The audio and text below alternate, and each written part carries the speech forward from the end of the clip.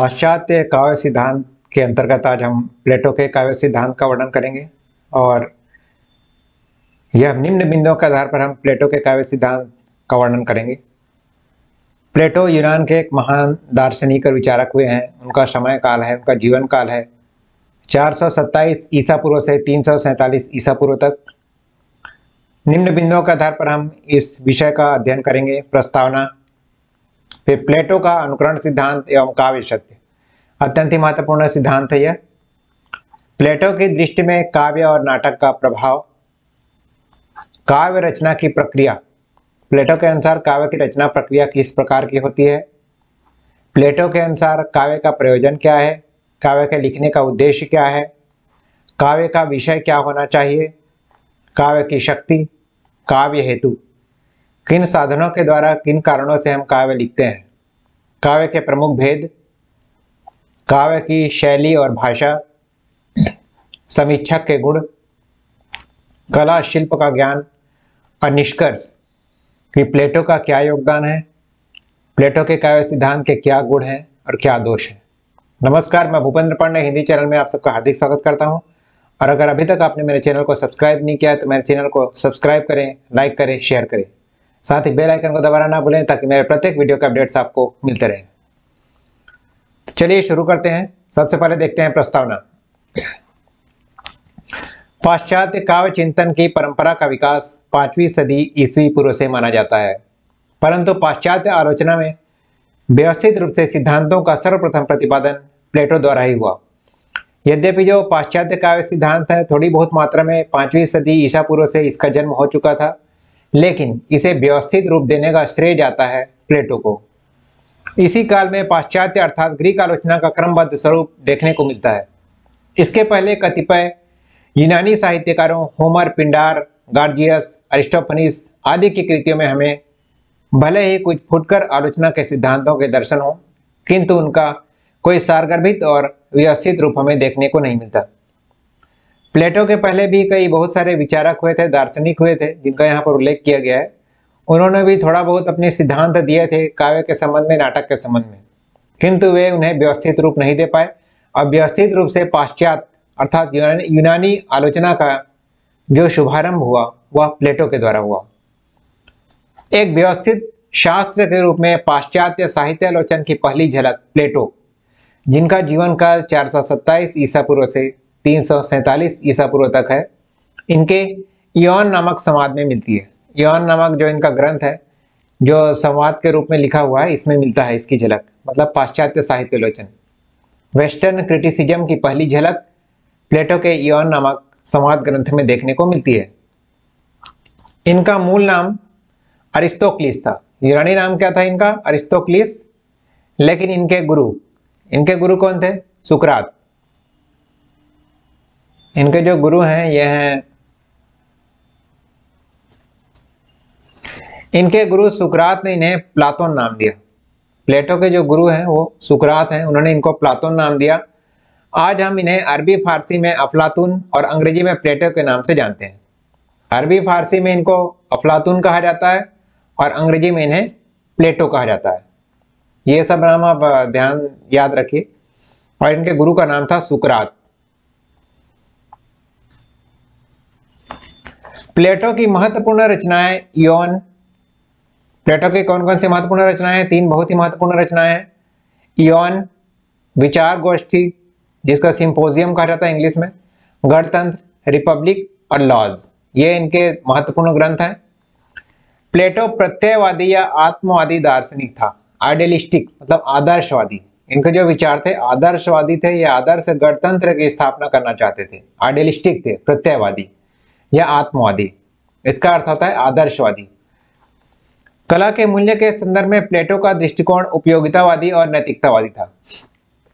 कला के संबंध में उनका मानना था कि कला क्या होनी चाहिए? उपयोगी होनी चाहिए समाज के लिए। उपयोगी होनी चाहिए और नैतिकता होनी चाहिए उसमें। है ना? उसमें सत्य होना चाहिए, शिव होना चाहिए, सत्यम, शिवम और सुंदरम। यह इनका मूल उद्देश्य था कि कोई भी कला समाज के लिए उपयोगी हो और नैतिक रूप से सही हो। मतलब उसमें सत्यम, शिवम और सुंदरम तीनों का समन्वय होना चाहिए। प्लेटो का कला विषयक दृष्टिकोण विधेयात्मक या मानकीय नार्मेटिव था। अर्थात प्लेटो बताना चाहता है कि कला कैसी होनी चाहिए। प्लेटो का यह, प्लेटो यह बताते हैं कि कला वास्तव में कैसी होनी चाहिए। उसके लिए उन्होंने मापदंड स्थापित किया हुआ था कि कला ऐसी होनी चाहिए। प्लेटो प्लेटो का जो दर्शन है, जो उनकी फिलॉसफी है, उसमें पाँच विषयों का निरूपण है। पाँच प्रमुख विषय हैं जिसका उनके दर्शन में महत्वपूर्ण स्थान है। पहला है आदर्श राज्य। आदर्श राज्य की स्थापना करना चाह रहे थे। प्रत्यय सिद्धांत। प्रत्यय मतलब होता आइडिया या विचार। आत्मा की अमृत सिद्धि। आत्मा कैसे अमृत प्राप्त कर सकती है? सृष्टि, शास्त्र और ज्ञान मीमांसा। ये जो पाँच विषय हैं, जो उनके दर्शन के केंद्र में है, इन पाँच विषयों को उन्होंने अपने दर्शन में प्रमुख स्थान दिया है। प्लेटो के समय तक यूनानी जीवन के राजनीतिक तथा साहित्यिक सभी क्षेत्र में अराजकता फैल गई थी। जो प्लेटो का समय था, वह कैसा था? यूनानी जीवन के राजनीतिक, सामाजिक तथा साहित्यिक सभी क्षेत्र में अराजकता फैल गई थी और उसके सांस्कृतिक वैभव का वेग से विघटन प्रारंभ हो गया था। पतन का दौर था। चाहे राजनीति हो, चाहे समाज हो, चाहे साहित्य हो, सभी क्षेत्र में अराजकता का वातावरण था। पतन का दौर शुरू हो गया था। प्रजातंत्र के नाम पर राजसत्ता कुछ अदूरदर्शी स्वार्थी लोगों के हाथ में थी। ऐसी स्थिति में प्लेटो के विचारधाराओं ने यूनान की संस्कृति के उत्थान में अपना अत्यंत महत्वपूर्ण और शक्तिशाली योगदान दिया। मतलब जब यूनान जो है पतन के कगार तक पहुँच गया था, उसका पतन होने ही वाला था, उस स्थिति में प्लेटो के विचारधारा ने उनकी सांस्कृतिक उत्थान में अत्यंत महत्वपूर्ण भूमिका का निर्वहन किया। प्लेटो ने सर्वप्रथम साहित्य विषयक मौलिक सिद्धांतों का प्रतिपादन किया और इस प्रकार पश्चिम में समीक्षा शास्त्र की नींव पड़ी। सबसे पहले प्लेटो ने साहित्य के विषय में मौलिक सिद्धांत प्रदान किया, मौलिक चिंतन उपलब्ध कराया और इस प्रकार पश्चिम में समीक्षा शास्त्र, आलोचना सिद्धांत या क्रिटिसिज्म का प्रादुर्भाव हुआ, उसकी नींव पड़ी। प्लेटो के गुरु सुकरात, प्लेटो के गुरु का नाम है सुकरात। प्लेटो के गुरु सुकरात ने साहित्यालोचन के क्षेत्र में नई उद्भावनाएँ प्रस्तुत नहीं की थी। इन्होंने कोई नए नियम कानून, कोई नया सिद्धांत नहीं दिया था इनके गुरु ने। उन्होंने कोई ग्रंथ भी नहीं लिखा और न कभी अध्यापन किया। न तो उन्होंने कोई किताबें लिखी, न कहीं वो पढ़ाते थे। उनके रहन सहन और तौर तरीके जो थे, रूढ़ीवादी थे। सुकरात बुद्धि तथा तर्क के अतिरिक्त किसी भी बाह्य सत्ता का आदेश मानने को तैयार न थे। उनकी विचार सरणी में भावना का स्थान नहीं था। मतलब जो उनकी बुद्धि और तर्क की कसौटी पर जो बातें खरी उतरती थी, उन्हीं को वो मानते थे और फीलिंग्स और इमोशंस और भावना का उनके जीवन में कोई स्थान नहीं था। मतलब हर चीज़ों को वो अपने बुद्धि और तर्क की कसौटी पर कसते थे पहले। तब उस पर विश्वास करते थे। यह नहीं कि हमारे बड़े बुज़ुर्ग जो कह रहे हैं तो हमेशा सही हो, कि हमारे पिता ने हमें कोई बात कही, हमको उसको मानना ही है। उनका मानना यह था कि हमारे बड़े हैं, वो कह रहे हैं सिर्फ़ इसलिए हमको मानना है, ऐसा नहीं है। पहले वह उन चीज़ों को अपने बड़े बुज़ुर्गों के आदेशों को, अपने माता पिता के आदेशों को पहले वे बुद्धि और तर्क की कसौटी पर कसते थे। जब वह खरा उतरता था, तभी उसको मानते थे। भावना या इमोशन का उनके जीवन में कोई स्थान नहीं था। वे आत्म दीपोभाव के प्रचारक थे। मतलब आप अपना दीपक खुद बनिए, अपना रास्ता खुद चुनिए, अपने रास्ते को स्वयं प्रकाशित करिए। इसके प्रचारक थे सुकरात। उनके अपूर्व मेधावी शिष्य प्लेटो ने निश्चित रूप से कलाओं के विषय में अपने विचार प्रकट किए, प्लेटो पर सुकरात का गंभीर प्रभाव पड़ा। जो उनका जो सबसे मेधावी छात्र था, वह प्लेटो था, और इसीलिए प्लेटो ने कला के संबंध में, कविता के संबंध में, नाटक के संबंध में अपने विचार विचार तो व्यक्त किया और किताबें भी लिखी, और उनके जीवन में सुकरात जो उनके गुरु हैं, उनका बहुत ही महत्वपूर्ण प्रभाव पड़ा। प्लेटो की भव्य उदात्त शैली बताती है कि वे मूलतः कवि थे। उन्होंने अपने जीवन में अपना जो जीवन के प्रारंभिक समय में उन्होंने कविताएँ लिखी अपने उनके लेखकी जीवन का प्रारंभ हुआ भी नाटकों और कविताओं की रचना से। लेकिन सुकरात के प्रभाव में आने पर उन्होंने ललित कलाओं को नष्ट कर दिया। शुरुआत में वे कविता भी लिखते थे जब वो राइटर बने, लेखक बने तो शुरुआत में वो कविता भी लिखते थे, नाटक भी लिखते थे। लेकिन जब वो सुकरात अपने गुरु के संपर्क में आए, तब उन्होंने अपनी सभी ललित कलाओं को नष्ट कर दिया। जो भी कविता लिखे थे, नाटक लिखे थे, उन सबको उन्होंने नष्ट कर दिया। प्लेटे का दृष्टिकोण ही बदल गया। उनका दृष्टिकोण सुकरात की तरह दार्शनिक का दृष्टिकोण था और यही कारण है कि प्लेटो काव्य और नाटक का प्रति न्याय करने में असमर्थ रहा। मतलब उनकी जो दृष्टि थी, वह दार्शनिक दृष्टि थी। उनमें कोई सौंदर्य बोध नहीं था। वह भी सभी चीज़ों को तर्क और बुद्धि और उपयोगितावाद की, नैतिकतावाद की कसौटी से देखते थे। इसीलिए प्लेटो काव्य और नाटक के प्रति न्याय नहीं कर सके। अपनी प्रसिद्ध कृति रिपब्लिक। रिपब्लिक उनकी बहुत ही प्रसिद्ध कृति है। प्लेटो की। इसमें उन्होंने काव्य और कवियों का घोर विरोध कर, उन्हें हेय और निंदनीय प्रमाणित किया। तो उनकी जो रिपब्लिक जो कृति है, उसमें उन्होंने कवियों का और उनके काव्य का बहुत ज़्यादा विरोध किया है और उसे निंदनीय प्रमाणित किया है कि निंदा के योग्य है। प्लेटो के अनुसार काव्य मनुष्य की वासना को उत्तेजित कर, उसे विवेकहीन बनाता है। ये देखिए, बहुत ही महत्वपूर्ण लाइन है। प्लेटो के अनुसार काव्य मनुष्य की वासना को उत्तेजित कर, उसे विवेकहीन बनाता है। मतलब जो कविता है, मनुष्य की वासना को उत्तेजित करता है, काम भावना जागृत करता है। प्लेटो ने संभवतः तत्कालीन साहित्य को देखकर ही अपना यह मत व्यक्त किया था। प्लेटो के समय में यूनान में, जिसे ग्रीस भी कहा जाता है, वहाँ पे जो कविताएँ लिखी जा रही थी, वो काम भावना को उद्दीप्त करती थी, जगाती थी, वासना को जगाती थी। शायद इसी को देखकर प्लेटो ने यह विचार प्रकट किया। उन्होंने अपने समकालीन साहित्य को देखकर संभवतः यह विचार व्यक्त किया था। वे, वह संसार में एक ऐसे राज्य या समाज की स्थापना करना चाहता था जो आदर्श हो। वह आदर्श गणराज्य की स्थापना करना चाहता था। वस्तुतः वह श्रेष्ठ राज्य, श्रेष्ठ समाज और श्रेष्ठ आदर्शों की स्थापना करना चाहता था। किंतु उसने देखा कि तत्कालीन यूनानी साहित्य काम उत्तेजक और भावना प्रधान है। श्रेष्ठ राज्य और समाज की स्थापना में साहित्य और कला का तत्कालीन रूप सहयोग न कर उच्छृंखलता मात्र फैला रहा था अतः उसने साहित्य और कला की घोर निंदा करनी प्रारंभ कर दी। लेकिन जब उसने देखा कि उसका जो समकालीन साहित्य है, जो कविता है, जो नाटक है, वह समाज में घोर अराजकता उत्पन्न कर रहा है, काम भावना, वासनाओं को जगा रहा है और लोगों को नीच कर्म करने के लिए प्रवृत्त कर रहा है। इसीलिए उन्होंने उसकी निंदा करनी प्रारंभ कर दी। अपनी रिपब्लिक के तीसरे भाग में वह होमर, उनके जो समकालीन कवि हुए हैं, होमर बहुत ही महान कवि थे। ओडीसी करके इनकी बहुत ही प्रमुख प्रमुख रचना है। अपनी रिपब्लिक के तीसरे भाग में वह होमर को परलोक की अंधकार में स्थिति का चित्रण करने के लिए दोषी ठहराता है। होमर ने अपनी कविता में जो परलोक है, संभवतः वह नर्क हो सकता है, उसकी जो अंधकार में स्थिति का उन्होंने चित्रण किया था, इसके लिए वह उन्हें दोषी ठहराते हैं। उनके अनुसार ऐसे साहित्य पर कड़ा प्रतिबंध लगाना आवश्यक है। प्लेटो होमर द्वारा वर्णित कतिपय घटनाओं की घोर निंदा करते हुए उसे समाज में चारित्रिक दुर्बलता फैलाने का भागी ठहराता है। ऐसा साहित्य समाज में अनिकता अनैतिकता फैलाकर मनुष्यों की इंद्रियों का दास बना देता है। हालाँकि वो होमर के प्रशंसक थे। उनके जो समकालीन कवि एक होमर करके बहुत महान कवि हुए हैं वो उनके प्रशंसक थे प्रशंसक थे। लेकिन जिन उन, उनकी कविताओं में जब उन्होंने देखा कि उनकी कुछ कविताएँ ऐसी हैं जो चारित्रिक दुर्बलता फैला रही हैं है ना, लोगों को गलत काम करने के लिए प्रेरित कर रही हैं। तो उसने उनकी घोर निंदा करना प्रारंभ कर दिया और उसने कहा कि ऐसा साहित्य मनुष्य को इंद्रियों का दास बना देता है और समाज में अनैतिकता फैला देता है, इसलिए इनका विरोध करना आवश्यक है। काव्य और कला के विषय में प्लेटो की मुख्य चिंता है आदर्श राज्य में उनकी उपयोगिता। काव्य और कला के संबंध में उनका दृष्टिकोण यह है कि आदर्श राज्य में, आदर्श गणराज्य में क्या उनकी उपयोगिता है। क्या उनका यूज़ है? इस उपयोगिता का निर्णय करने के क्रम में उन्होंने कला की परिभाषा, कलाओं में काव्य का स्थान, काव्य का स्वरूप, काव्य की प्रेरणा, काव्य के विषय, काव्य के रूप, काव्य के भावात्मक प्रभाव, काव्य और सत्य, काव्य और जीवन का संबंध आदि अनेक विषयों का स्पर्श किया है। जब उन्होंने काव्य की आलोचना उपयोगितावाद के दृष्टिकोण से करना शुरू किया तो इन विषयों पर भी उन्होंने विचार किया।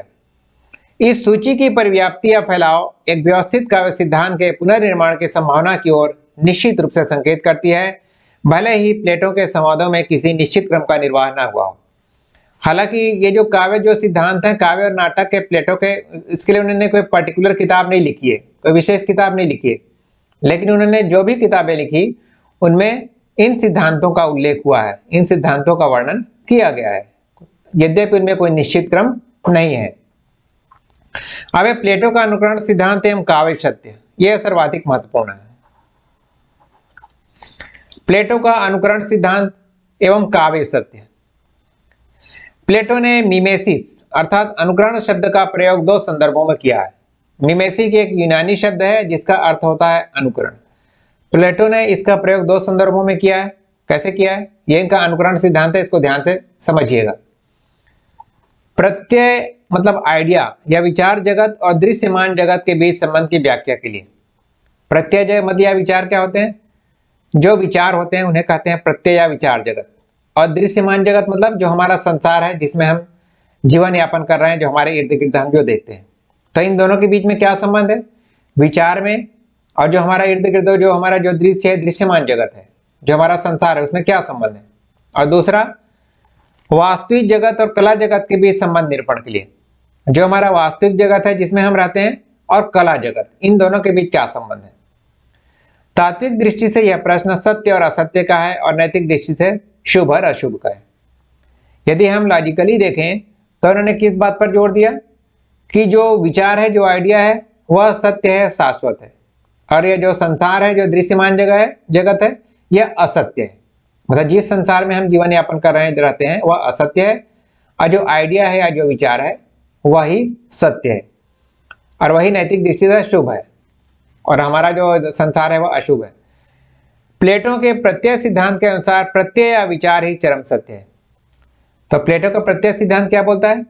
कि प्रत्यय या विचार, या आइडिया, जो आइडिया या विचार है, जो हमारे दिमाग में रहता है, सिर्फ़ वही चरम सत्य है। वह शाश्वत और अखंड है, तथा ईश्वर उसका सृष्टा है।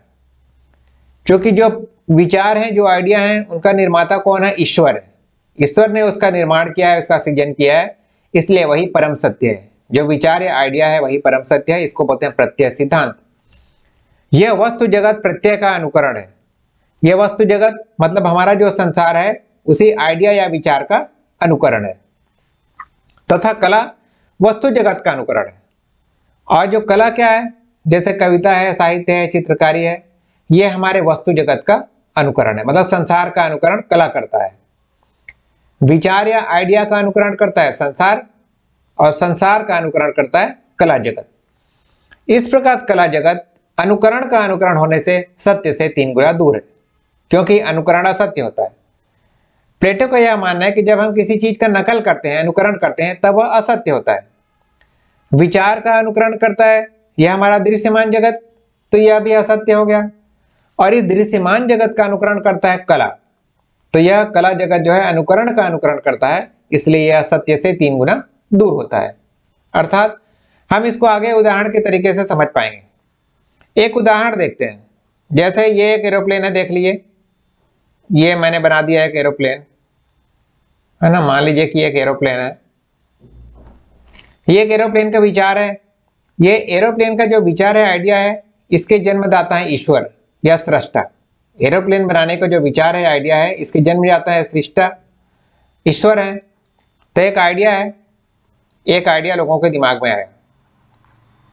यह राइट ब्रदर्स आपने नाम सुना होगा जिन्होंने एरोप्लेन का आविष्कार किया था। तो ये इस आइडिया के जन्मदाता हैं भगवान या ईश्वर। इस आइडिया के आधार पर उन्होंने एरोप्लेन बना दिया। इस आइडिया को देख के इन्होंने बना दिया एरोप्लेन। सपोज़ करिए एरोप्लेन है। ये आइडिया या विचार के जन्मदाता है ईश्वर। इसका अनुकरण करके ओरिजिनल में एरोप्लेन बनाया राइट ब्रदर्स ने। तो यह भी क्या है? यह दृश्यमान जगत हो गया। यह हो गया, यह भी अनुकरण है, इसलिए यह भी असत्य है। और इसको देखकर छोटे बच्चे जो एरोप्लेन बनाते हैं कागज़ के, समझ लीजिए कोई छोटा बच्चा है, इसको देख के बना रहा है अपना एरोप्लेन। है ना? ये एरोप्लेन बना लिया। छोटा बच्चा देख के जो एरोप्लेन बना लिया तो इसका अनुकरण है। आइडिया या विचार से आइडिया या विचार के जन्म जाता है ईश्वर, इसका अनुकरण करके राइट ब्रदर्स ने एरोप्लेन बनाया और इसका अनुकरण करके किसी बच्चे ने एरोप्लेन बना लिया कागज़ का या फिर किसी चित्रकार ने एरोप्लेन का चित्र बना दिया। तो ये पहला वाला भी असत्य है यह भी अनुकरण है और दूसरा वाला जो है पहले वाले का अनुकरण है। जब पहला वाला यह अनुकरण है और यह अनुकरण का अनुकरण है मतलब यह इस सत्य से दुगना दूर है। तो यही कला जगत है। एक और उदाहरण से समझते हैं। ये आइडिया जो है आपका ओरिजिनल डॉक्यूमेंट है। ये कोई पेपर ओरिजिनल डॉक्यूमेंट इसका आपने यहाँ फ़ोटो कापी करवा लिया अनुकरण कर लिया। ये इसका फ़ोटो कापी हो गया और इस फ़ोटो कापी से फिर आपने फ़ोटो कापी कर लिया। ओरिजिनल डॉक्यूमेंट वो आपका आइडिया हो गया, विचार हो गया। उस आइडिया को आपने फ़ोटो कापी कर लिया, वो उसका पहला अनुकरण हो गया। तो यह अनुकरण ऑलरेडी अनुकरण है फ़ोटो कापी मतलब डुप्लीकेट है। और इस फ़ोटो कापी से फिर आपने फ़ोटो कापी करवा लिया। तो डुप्लीकेट से डुप्लीकेट करवा लिया। मतलब ये कितना दूर हो गया? यही कला जगत है। यही क्या है? कला जगत है। तो प्लेटो ने यूनानी शब्द मिमेसिस अर्थात अनुकरण का प्रयोग अपमानजनक अर्थ में किया है। उनका कहना है कि जो अनुकरण है ना, अपने आप में अपमानजनक है, क्योंकि असत्य है। उनके अनुसार अनुकरण में मिथ्या तत्व रहता है, जो है। अनुकरण क्या है? उसमें मिथ्या तत्व रहता है, वो असली नहीं रहता। परंतु कला की अनुकरण मूलकता की भावना का आश्रय प्लेटो को दिया जाता है। भले ही प्लेटो का यह इस सिद्धांत से हम सहमत हों चाहे मत हों, लेकिन कला के क्षेत्र में जो अनुकरण की जो संभावना है, जो अनुकरण का जो सिद्धांत है, उसके जन्म उसको जन्म देने का श्रेय प्लेटो को जाता है।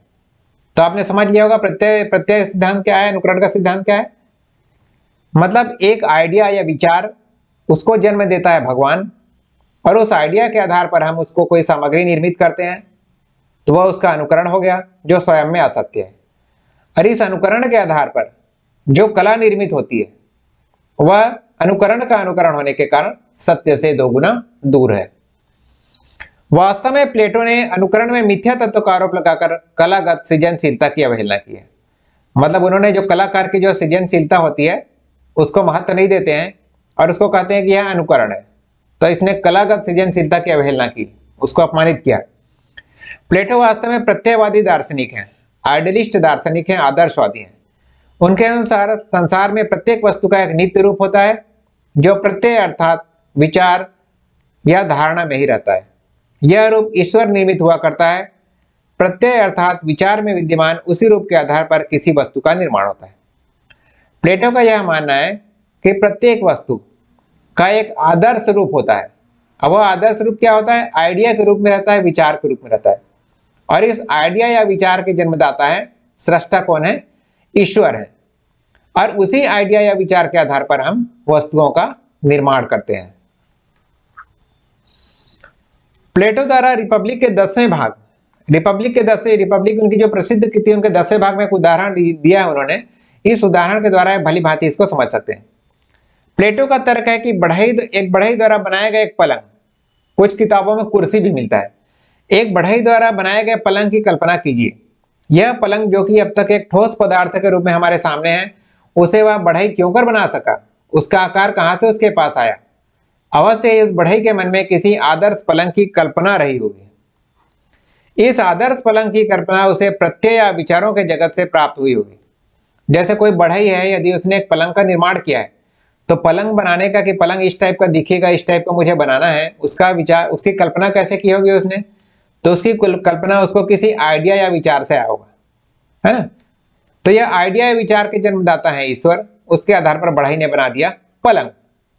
और उस पलंग को देखकर उसका अनुकरण करके कोई कलाकार, कोई चित्रकार उसका चित्र बना देता है। तो वही कला जगत है, जो सत्य से दो गुना दूर है। प्लेटो के अनुसार यह विचारों का जगत ही जहाँ से समस्त कल्पना अथवा आभास प्राप्त होते हैं, अकेली वास्तविक सत्ता है। तो सभी चीज़ों की मूल सत्ता क्या है? आइडिया या विचार है। और इसी आइडिया या विचार से विभिन्न कल्पनाएँ जन्म लेती हैं। अतः पलंग नाम की वास्तविक सत्ता का निर्माता ईश्वर है। पलंग के जो आइडिया का जो निर्माण किया है, ईश्वर ने किया है, बढ़ई तो केवल वास्तविक सत्ता के आभास का निर्माण करता है। तो वास्तव में जो पलंग का जो आइडिया है, वह ईश्वर ने उसको जन्म दिया है। और जो बढ़ई ने जो बनाया, उसने उसका अनुकरण करके बनाया। तो वह उसकी छाया मात्रा है, आभास मात्रा है। बढ़ई द्वारा बनाया गया पलंग ईश्वर के मन में विद्यमान वास्तविक पलंग की छाया मात्र है। तो बढ़ई क्या है? बढ़ई ने वास्तव में पलंग को जन्म नहीं दिया है। वह सिर्फ़ उसने अनुकरण किया है। तो वह वास्तविक में जो पलंग है, जो ईश्वर के, ईश्वर ने जिस विचार को जन्म दिया है, जिस आइडिया को जन्म दिया है, उसके आधार पर उसने पलंग की छाया मात्र बनाया है, उसका अनुकरण किया है। अतः बढ़ई द्वारा निर्मित पलंग वास्तविक सत्ता न होकर अनुकरण या नकल मात्र है। तो बढ़ई ने जो पलंग बनाया, वह उसका अनुकरण है। अनुकरण है या फिर नकल है? वास्तविक विचार का। तो प्लेटो के कहने का मतलब क्या है? उनका सारांश क्या है? प्रत्यय जगत। आइडिया, यथार्थ है, ईश्वर उसका सृष्टा है। प्रत्यय जगत मतलब जो आइडिया है, केवल वही सत्य है और ईश्वर उसको बनाने वाले हैं, उसके सर्जक हैं, सृष्टा है।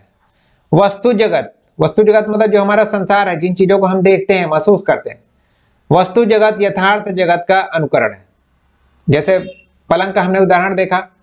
तो वस्तु जगत जो है यथार्थ जगत का अनुकरण है। मतलब आइडिया का नकल करके आइडिया का अनुकरण करके हम वस्तु जगत का निर्माण करते हैं। जैसे बढ़ई या कारीगर उसका निर्माता या मेकर है। जैसे बढ़ई ने जो पलंग बनाया। अभी जो कला जगत है, कला जगत है मतलब उसका चित्र हो गया, पलंग का चित्र। पलंग का चित्र हो गया कला जगत। कला जगत, वस्तु जगत। वस्तु जगत मतलब जो बढ़ाई ने बनाया पलंग। कला जगत, वस्तु जगत का अर्थात अनुकरण का अनुकरण है, कलाकार उसका अनुकर्ता है इमिटेटर है। तो जो कलाकार जिसने चित्र बनाया, पलंग को देखकर तो उसने पलंग को देखकर उसका अनुकरण किया। मतलब उसने अनुकरण का अनुकरण किया, नकल का नकल किया फोटोकॉपी का फोटोकॉपी किया। ये एग्ज़ाम्पल मैं बता चुका हूँ आपको।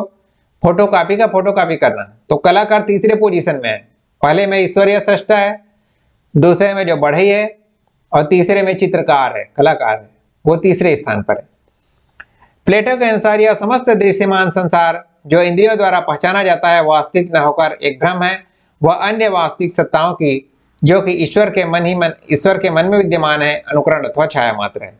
मतलब जिस संसार में हम रहते हैं, जो हमको दृष्टिगोचर होता है, जिस दृश्यमान जगत में है, वह वास्तव में क्या है? छाया मात्र है, एक भ्रम है। क्योंकि जो वास्तविक जगत है, वह उसके जो वह ईश्वर के मन में है। जो वास्तव में जो जगत है, वास्तविक जगत है, जो शाश्वत है, जो अखंड है, वह ईश्वर के मन में है। और जिस संसार में हम रहते हैं, जो दृश्यमान जगत है, जो हमको दृष्टिगोचर होता है, वह क्या है? भ्रम है। अतः प्लेटो समस्त दृश्यमान संसार को भ्रम मानता है। उसकी दृष्टि में विचार रूप, जगत ही सत्य है, यह संसार असत्य है। तो ईश्वर के मन में जो विचार रूप में जगत है जो सारा संसार उनके दिमाग में विचार के रूप में है, वही सत्य है, असत्य है, वही शाश्वत है। और यह जो संसार है, यह असत्य है भ्रम है। तो अब हम फिर बढ़ाई द्वारा बनाए पलंग की ओर लौट चले। वह पलंग वास्तविक न होकर आदर्श पलंग की, जो कि ईश्वर के मन में है, अनुकरण मात्र है। अथवा बढ़ाई के पश्चात चित्रकार आता है। सबसे पहले ईश्वर आते हैं, फिर बढ़ाई आते हैं, फिर चित्रकार आता है, जो कि पलंग का चित्र प्रस्तुत करता है। चित्रकार द्वारा निर्मित पलंग का यह चित्र बढ़ाई के पलंग की अनुकृति है या नकल है? मतलब चित्रकार ने जो चित्र बनाया पलंग की, वह बढ़ाई के द्वारा बनाए हुए पलंग का अनुकरण है या नकल है? किंतु बढ़ई का पलंग भी तो वास्तविक पलंग की अनुकृति ही था, लेकिन बढ़ई ने भी जो पलंग बनाया, वह भी तो वास्तविक पलंग का नकल था, अनुकरण था या अनुकृति थी। अतः चित्रकार का पलंग अनुकृति की अनुकृति हुआ। तो चित्रकार ने जो पलंग बनाया है, वह ठीक वैसा ही है फोटोकॉपी का फोटोकॉपी हुआ। प्लेटो के अनुसार समस्त कला, प्लेटो कहते हैं कि जितने भी कला के रूप हैं, काव्य, चित्र, संगीत आदि, अनुकृति की अनुकृति अर्थात नकल की नकल है। मतलब जो भी काव्य है, चित्र है, संगीत है, इसको तीसरे स्थान पर रखते हैं, यह सत्य से दुगुना दूर है, यह फोटोकॉपी का फोटोकॉपी है, अर्थात नकल का नकल है। वह वास्तविक होना तो दूर रही, वास्तविकता की अनुकृति भी नहीं है। कम से कम बढ़ई ने तो अनुकृति बनाया, लेकिन जो चित्रकार है वह तो नकल का नकल बनाया। थर्ड क्लास बनाया मतलब। तो वह वास्तविक होना तो दूर रही, वास्तविकता की अनुकृति भी नहीं है। वह तो एक ऐसी अनुकृति है, जो स्वयं अनुकृति, छाया अथवा आभास अपेरेंस है। दूसरी बात तो अब आप समझ गए होंगे प्रत्यय सिद्धांत, अनुकरण सिद्धांत। दूसरी बात यह है कि प्लेटो काव्य को एक प्रकार का उन्माद मानता है। उन्माद मतलब पागलपन। प्लेटो ने अपने यौन नामक संवाद में काव्य सृजन प्रक्रिया या काव्य हेतु की चर्चा की है। प्लेटो का कहना है कि जो काव्य का जो निर्माण होता है, काव्य का जो सृजन होता है, वह उन्माद की अवस्था में होता है। मतलब जो कवि है वह हिप्नोटाइज हो जाता है। मतलब वह एक अलग ही दुनिया में चला जाता है जब वह कविता लिखता है, पागलपन जैसा। उसने ईश्वरीय उन्माद को काव्य हेतु तो स्वीकार किया है। काव्य का जन्म कैसे होता है? जब कवि उन्माद की अवस्था में चला जाता है, सम्मोहन की अवस्था में चला जाता है, तभी वह कविता लिख पाता है। प्लेटो के अनुसार काव्य सृजन दैवी शक्तियों से प्रेरित होकर करता है। प्लेटो के अनुसार कोई कवि स्वयं में उसमें कोई टैलेंट या प्रतिभा नहीं होती, कोई अभ्यास नहीं करता। वह दैवी प्रतिभा के वशी दैवी जो कृपा है उसके वशीभूत होकर, दैवी शक्तियों के वशीभूत होकर वह कविता की रचना करता है। काव्य देवी को प्लेटो ने म्यूजेज की संज्ञा से अभिहित किया है, अभिहित किया है। काव्य देवी को म्यूज कहते हैं वो। काव्य देवी को प्लेटो क्या कहते हैं? म्यूज कहते हैं, जिसकी प्रेरणा से कोई कवि कविता की रचना करता है। अर्थात कवि कविता करते समय उन्माद या पागलपन की दशा में रहता है, वह अपने को किसी दैवी शक्ति द्वारा प्रेरित प्रतीत करता है। किंतु वह उस समय यह नहीं जानता कि वह क्या कह रहा है। अतः उसके शब्दों पर ध्यान नहीं दिया जा सकता, क्योंकि वहाँ विवेक और तर्क का कोई नियंत्रण नहीं रहता। जैसा हम हिंदी में जो भारतवासी हैं, जो माँ सरस्वती को सभी कला और साहित्य की देवी मानते हैं, म्यूज मानते हैं, माँ सरस्वती का। तो प्लेटो का कहना यह है, जब कोई कवि, कविता लिखता लिखता है, तब वह सम्मोहन की अवस्था में रहता है, उन्माद की अवस्था में रहता है, पागलपन की अवस्था में रहता है, और वह किसी दैवी शक्ति के वशीभूत होकर कविता की रचना करता है। इसलिए उस समय उसके उसके, उसमें कोई तर्क नहीं रहता। कोई उस, उसके शब्दों पर ध्यान नहीं दिया जा सकता, क्योंकि वहाँ विवेक और तर्क का कोई नियंत्रण नहीं है। क्योंकि वह सम्मोहन की अवस्था में है वह अपने विवेक या तर्क का इस्तेमाल नहीं कर सकता, उपयोग नहीं कर सकता। इसलिए उसको खुद ही नहीं पता होता कि वह क्या लिख रहा है। वास्तव में दैवी शक्ति उसे कविता लिखवा लेती है, जैसे माँ सरस्वती इस भावुक आवेश का परिणाम यह होता है कि वह अनैतिकता का प्रचार करने लगता है। यही कारण है कि कवि प्राय देवी देवताओं के विषय में भी अनैतिक घटनाओं का वर्णन करने लगते हैं। इन देवी देवताओं का चरित्र क्रूर, निशंस और अधम चित्रित किया जाता है। क्योंकि कवि सम्मोहन की अवस्था में होता है, वह अपने विवेक और तर्क शक्ति का इस्तेमाल नहीं कर पाता, उपयोग नहीं कर पाता। इसलिए वह जब कविता लिखता है ऐसी स्थिति में, तब कभी कभी वह देवी देवताओं का भी ऐसा चित्रण कर देता है, जो कि नृशंस और अधम और क्रूर दिखाई देते हैं। तो वह अनैतिक घटनाओं का भी चित्रण करने लगता है। उपर्युक्त कारणों से प्लेटो कला को आदर्श राज्य से बहिष्कृत कर देना चाहता है। वह कला को मिथ्या और अनाचार का प्रचार, वह कला जो मिथ्या और अनाचार का प्रचार करती है, कभी भी समाज के लिए कल्याणकारी नहीं हो सकती। तो इस प्रकार उनका मानना है कि कला का सृजन दैवी शक्ति के कारण होता है। उस समय कलाकार के जो विवेक और तर्क शक्ति का वह प्रयोग नहीं कर पाता और इसीलिए वह समाज में मिथ्या और अनाचार का प्रचार करने लगता है। तो ऐसे कलाकार और ऐसे, ऐसा कार्य कभी भी समाज के लिए कल्याणकारी नहीं हो सकता। अतः ऐसे कवियों को, ऐसे कलाकारों को राज्य से निष्कासित कर दिया जाना चाहिए, आदर्श राज्य से। उनकी एक तीसरी, एक अत्यंत महत्वपूर्ण बात यह है कि प्लेटो के अनुसार समस्त दृश्यमान संसार एक अन्य वास्तविक संसार का अनुकरण मात्र है, जो हमने ऊपर उल्लेख किया है। यह वास्तविक संसार अनेक सत्ताओं, विचारों अथवा सिद्धांतों का संसार है। यह सिद्धांत है शिव, न्याय, सत्य और सुंदर। मतलब जो वास्तविक संसार है, उसमें सत्यम, शिवम और सुंदरम की भावना पाई जाती है, उससे यह निर्मित है। इन्हें प्लेटो आर्किटाइप्स अथवा मौलिक सिद्धांत कहता है। प्लेटो के अनुसार मौलिक सिद्धांत क्या है? जिसमें सत्यम, शिवम और सुंदरम की कल्पना की गई है। जो सत्य भी हो, जो कल्याणकारी भी हो और जो सुंदर भी हो। तो इन्हें ये वह वास्तविक सिद्धांत है आर्किटाइप्स कहता है, मौलिक सिद्धांत कहता है। इस संसार का सत्य, शिव और सुंदर इन्हीं मूल सत्ताओं का अनुकरण है। प्लेटो के अनुसार सुंदरम की सुंदर की स्वतंत्र स्थिति नहीं सुंदर होने के लिए यह आवश्यक है कि वह साथ में सत्य और शिव भी हो। मतलब प्लेटो का कहना यह है कि कला या फिर कोई रचना केवल सुंदर होने से काम नहीं चलेगा, कि वह बहुत सुंदर है। वास्तव में सुंदर होने के साथ साथ ही वह समाज के लिए कल्याणकारी भी हो और वह सत्य भी हो, तभी वह समाज के लिए उपयोगी हो सकती है, नैतिक दृष्टि से कोई कला उपयोगी हो सकती है। मतलब सुंदर होने के लिए साथ में उसका सत्य होना भी आवश्यक है, उसका शिव अर्थात कल्याणकारी होना भी आवश्यक है। प्लेटो के कला के प्रति दृष्टिकोण के हमें दो पक्ष दिखाई पड़ते हैं। कला अपने निकृष्ट रूप में मिथ्या और अनाचार का प्रचार करती है, अतः उसका बहिष्कार ही वांछनीय है।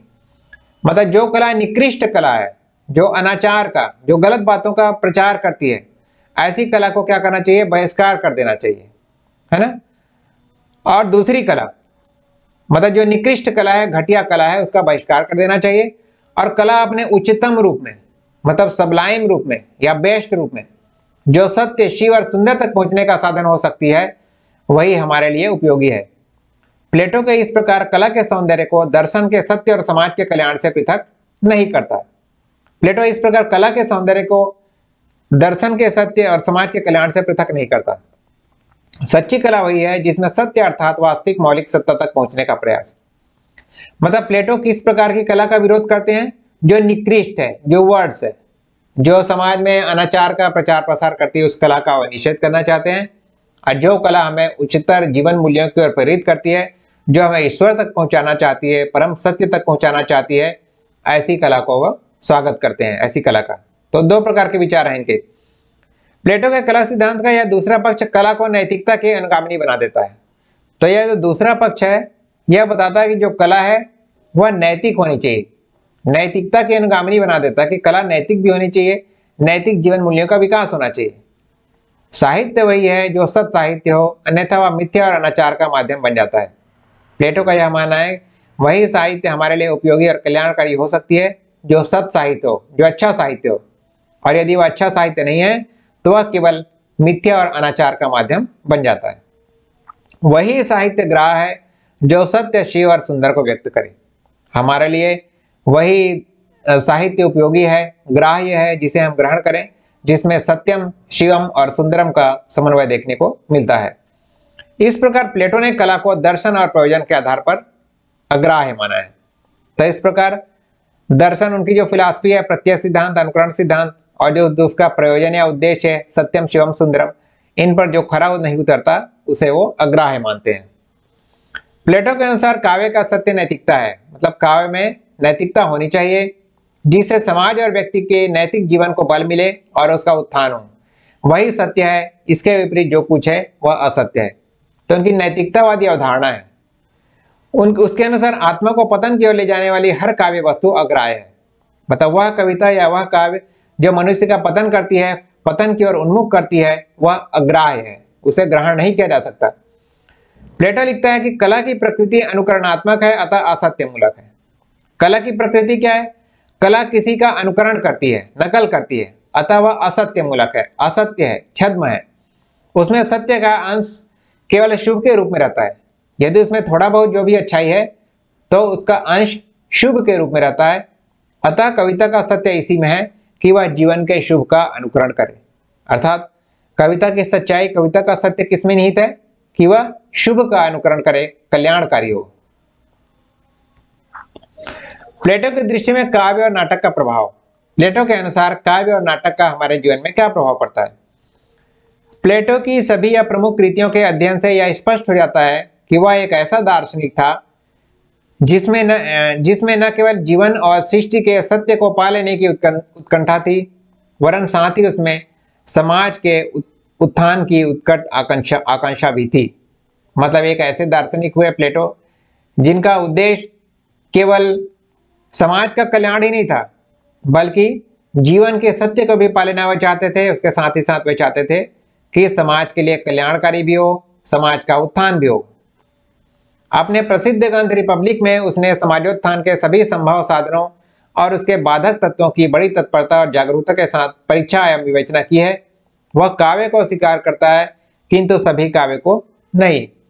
तो उनका जो प्रसिद्ध ग्रंथ है, रिपब्लिक, उन्होंने इस बात का विशेष रूप से उल्लेख किया है कि समाज के उत्थान के लिए कौन सी बातें आवश्यक हैं और कौन सी वो बातें हैं जो समाज के उत्थान में बाधा डालती हैं।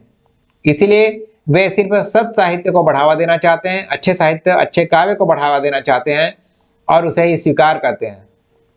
लेकिन सभी प्रकार के काव्य को स्वीकार नहीं करते। प्लेटो के समय का यूनानी साहित्य कामोत्तेजक एवं भाव, भावोद्वेलन प्रधान था। प्लेटो के समय में जो यूनानी साहित्य था, वह वासना प्रधान था, कामोत्तेजक था और बहुत ही इमोशनल था, भावों को जागृत करने वाला था, चाहे अच्छी भावना हो, चाहे बुरी भावना। अतः सामाजिक हित की दृष्टि से उपयोगी सिद्ध नहीं होता था। उनके समय में यह वासना प्रधान कामोत्तेजक साहित्य लिखा जाता था। इसीलिए वह समाज की दृष्टि से, हित की दृष्टि से उपयोगी नहीं था। इसलिए प्लेटो ने काव्य एवं नाटक के संबंध में कई आपत्तियाँ उठाई हैं। तो उनकी क्या क्या आपत्तियाँ हैं? यह भी बहुत महत्वपूर्ण है। काव्य और नाटक के संबंध में उनके क्या विचार थे और कौन सी आपत्तियाँ थी उनकी, आइए देखते हैं।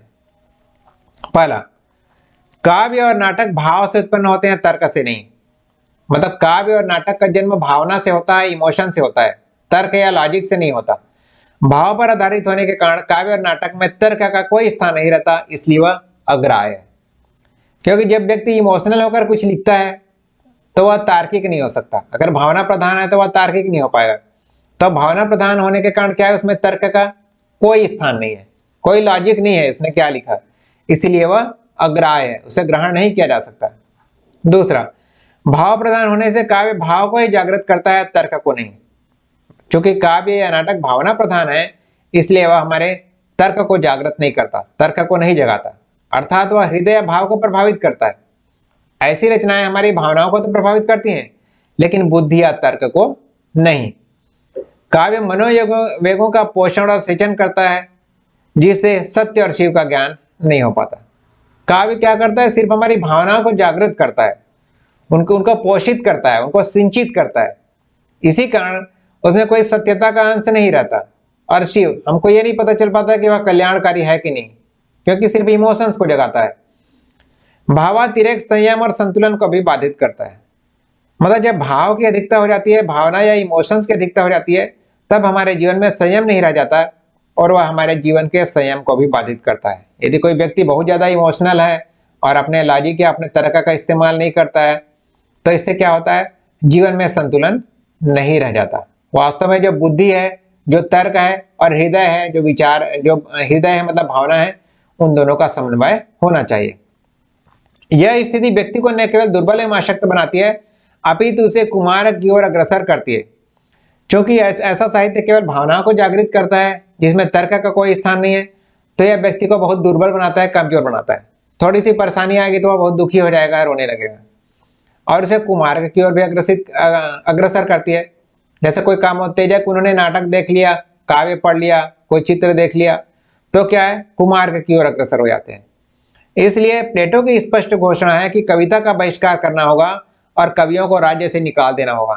इसीलिए वे जब आदर्श गणराज्य आदर्श राज्य की जब वो कल्पना करते हैं, तब उनका कहते हैं कि ऐसे कवियों के लिए मेरे राज्य में कोई स्थान नहीं है, उन्हें निकाल देना चाहिए राज्य से, उनकी कविता का बहिष्कार करना चाहिए।